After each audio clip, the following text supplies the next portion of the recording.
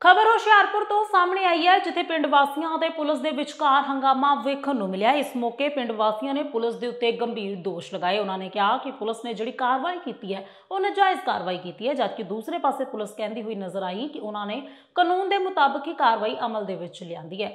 ਜ਼ਿਕਰਯੋਗ ਹੈ ਕਿ ਇੱਕ ਸ਼ਖਸ, ਇੱਕ ਨੌਜਵਾਨ ਜਿਸ ਦਾ ਕਿ 3 ਮਹੀਨੇ ਪਹਿਲਾਂ ਕਿਸੇ ਲੜਕੀ ਦੇ ਨਾਲ ਵਿਆਹ ਹੋਇਆ ਸੀ, ਉਸ ਲੜਕੀ ਦੇ ਪਰਿਵਾਰ ਦੇ ਵੱਲੋਂ ਲੜਕੇ ਨੂੰ ਕਾਫੀ ਤੰਗ ਪਰੇਸ਼ਾਨ ਕੀਤਾ ਜਾ ਰਿਹਾ ਹੈ। ਜਿਹੇ ਪਿੰਡ ਵਾਸੀ ਕਹਿ ਰਹੇ ਨੇ, ਉਹਨਾਂ ਦਾ ਕਹਿਣਾ ਹੈ ਕਿ ਇਸ ਬਾਬਤ ਉਹਨਾਂ ਨੇ ਸ਼ਿਕਾਇਤ ਵੀ ਦਿੱਤੀ ਸੀ, ਪਰ ਅੱਜ ਬਿਆਸ ਦੀ ਪੁਲਿਸ ਜੋ ਹੈ, ਉਹ ਇੱਥੇ ਪਹੁੰਚ ਕੇ ਨੌਜਵਾਨ ਦੇ ਨਾਲ ਧੱਕੇਸ਼ਾਹੀ ਕਰਦੀ ਹੈ ਉਸ ਦੀ ਮਾਰਕੁੱਟ ਕਰਦੀ ਹੈ ਤੇ ਉੱਥੋਂ ਤੱਕ ਕਿ ਉਸ ਨੂੰ ਹੱਥਕੜੀ ਵੀ ਲਗਾ ਦਿੱਤੀ ਜਾਂਦੀ ਹੈ ਜਿਸ ਦੇ ਚਲਦੇ ਹੀ ਪਿੰਡ ਵਾਸੀਆਂ ਨੇ ਪੁਲਿਸ ਨੂੰ ਘੇਰ ਲਿਆ ਤੇ ਇਸ ਦੌਰਾਨ ਪੁਲਿਸ ਦੇ ਨਾਲ ਅਤੇ ਪਿੰਡ ਵਾਸੀ ਜੋ ਨੇ ਆਪਸ ਦੇ ਵਿੱਚ ਜੋ ਹੈ ਭਿੜਦੇ ਹੋਏ ਨਜ਼ਰ ਆਏ ਹੰਗਾਮਾ ਵੇਖਣ ਨੂੰ ਮਿਲਿਆ।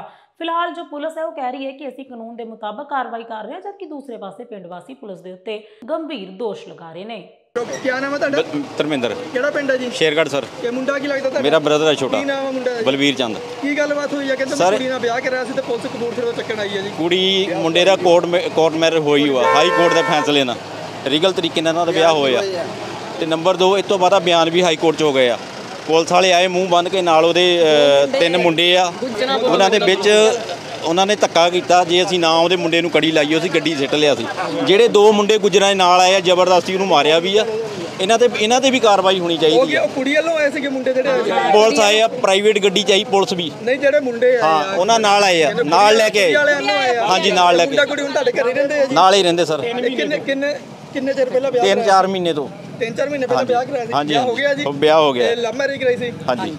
ਤੇ ਹੁਣ ਇਹ ਤੁਸੀਂ ਕਹਿੰਦੇ ਕਿ ਪੁਲਿਸ ਬਿਨਾਂ ਦੱਸੇ ਆਈ ਹੈ ਮੁੰਡੇ ਨੂੰ ਚੱਕਣ? ਬਿਨਾਂ ਦੱਸਣ ਆਈ ਆ ਔਰ ਇਹਨਾਂ ਨੇ ਆ ਕੇ ਧੱਕਾ ਕੀਤਾ। ਜ਼ਬਰਦਸਤੀ ਘਰੋਂ ਇਹਨੂੰ ਅ, ਮੁੰਡੇ ਨੂੰ ਨਾ ਕ- ਜਿੱਦਾਂ ਕੁੱਟਦੇ ਲੈ ਕੇ ਆਏ ਅੰਦਰ। ਜਿਹੜੇ ਨਾਲ ਦੋ ਗੁੱਜਰਾਂ ਦੇ ਮੁੰਡੇ ਆਏ ਸੀਗੇ। ਇਹਨਾਂ ਤੇ ਸਖਤ ਕਾਰਵਾਈ ਹੋਣੀ ਚਾਹੀਦੀ ਮਾਰ ਹੈ। ਕੀਤੀ ਮੁੰਡੇ ਨਾਲ? ਹਾਂਜੀ ਜ਼ਬਰਦਸਤੀ ਗੱਡੀ ਸਿੱਟਦੇ ਜ਼ਬਰਦਸਤੀ ਗੱਡੀ ਸਿੱਟਦੇ ਸੀ। ਹਾਂਜੀ ਜ਼ਬਰਦਸਤੀ ਗੱਡੀ ਸਿੱਟਦੇ ਕੀ ਸੀਗੇ ਮੰਗ ਕਰਦੇ ਹੋ ਤੁਸੀਂ? ਅਸੀਂ ਮੰਗ ਪ੍ਰਸ਼ਾਸਨ ਤੋਂ ਇਹੀ ਕਰਦੇ ਹਾਂ ਕਿ ਇਹ ਜਿਹੜੇ ਨਾਲ ਆਏ ਹੋ ਨਾ ਚਲੋ ਪੁਲਿਸ ਆਂਦੀ ਆ ਕੋਈ ਸਰਪੰਚ ਦੀ ਤਲਾਹ ਲੈਂਦੀ ਕਿਸੇ ਪੰਚ ਨੂੰ ਸਾਦੇ ਨਾਲ ਲੈਂਦੇ ਇਹਨਾਂ ਨੇ ਧੱਕਾ ਕੀਤਾ। ਸਾਡੇ ਕਹਿਣ ਦੇ ਉੱਤੇ ਜਦੋਂ ਅਸੀਂ ਰੋਕ ਲਿਆ ਉਹਨਾਂ ਪਿੰਡ ਵਾਲਿਆਂ ਨੇ ਸਾਡੇ ਪੂਰੇ ਪਿੰਡ ਦੇ ਮਹੱਲੇ ਨੇ ਰੋਕ ਲਿਆ।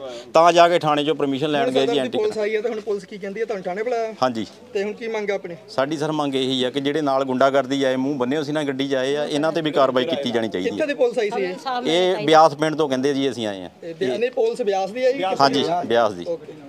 ਡਿਪਟੀ ਸਾਹਿਬ ਖੜੇ ਨੇ ਗਲਤ ਨਹੀਂ ਆਏਗੇ ਐਫ ਆਈ ਆਰ ਕਿਹੜੀ ਜਗ੍ਹਾ ਤੋਂ ਆਏ ਤੁਸੀਂ ਐਫ ਆਈ ਆਰ ਲਾਂਚ ਆਜੋ ਮੜ ਕਿਹੜੇ ਮਾਮਲੇ ਦੇ ਵਿੱਚ? ਆਜੋ ਮੈਡਮ ਉਧਰ ਆਓ ਫਟਾਫਟ 376 ਦੇ ਵਿੱਚ। ਚਲੀਏ। ਕਿਹੜੀ ਇੱਕ ਆਜੋ ਥਾਣੇ ਉਹ ਥਾਣੇ ਆਜੋ ਜੀ। ਤੁਸੀਂ ਲੋਕਲ ਪੁਲਿਸ ਨੂੰ ਆਜੋ ਸੂਚਨਾ ਆਜੋ ਫਟਾਫਟ ਮੈਡਮ ਆਓ ਚਲੋ ਪਿੰਡ ਵਾਲੇ ਕਹਿੰਦੇ ਬੜੇ ਪਿੰਡ ਵਾਲਿਆਂ ਨੂੰ ਕੀ ਪਤਾ ਫਟਾਫਟ ਮੈਡਮ ਆਓ। ਰੋਜ਼ ਨਾਮ ਦੀ ਪੈਣੀ ਹੈ ਕਿ ਪਿੰਡ ਵਾਲਿਆਂ ਨੂੰ ਕੀ ਕਹਿਣਾ? ਹਾਂਜੀ ਸਰ ਇੱਕ ਸ਼ੇਰਗੜ੍ਹ ਤੋਂ ਮਾਮਲਾ ਸਾਹਮਣੇ ਆਇਆ ਸੀ ਤੇ ਪਿੰਡ ਵਾਲਿਆਂ ਨੇ ਦੋਸ਼ ਲਾਇਆ ਸੀ ਕਿ ਬਿਆਸ ਤੋਂ ਪੁਲਿਸ ਆਈ ਹੈ।